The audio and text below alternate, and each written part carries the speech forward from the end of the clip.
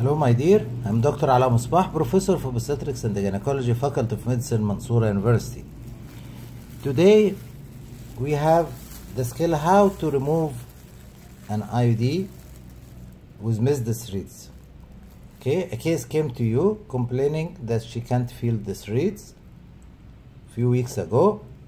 After history taking and the local examination, you can't find the threads at the external os okay so this is a problem.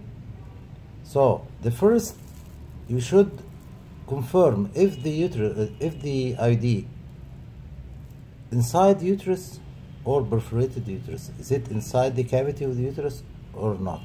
By doing ultrasound you can find that the IUD as in this model you can see the IUD inside the uterine cavity.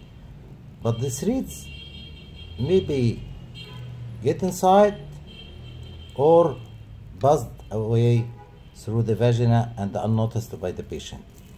Okay, during local examination, the doctor can remove the IUD using this crocodile as you will see right now.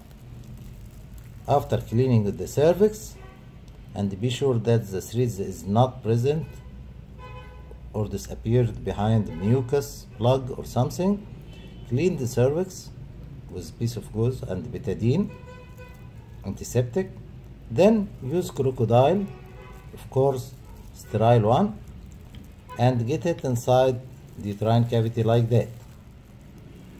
And try to catch the threads or the IUD itself. Okay? If you get if you can catch it take it out like that and simply you help the patient in this problem. This is how to remove the IUD if threads missed. Okay, thank you.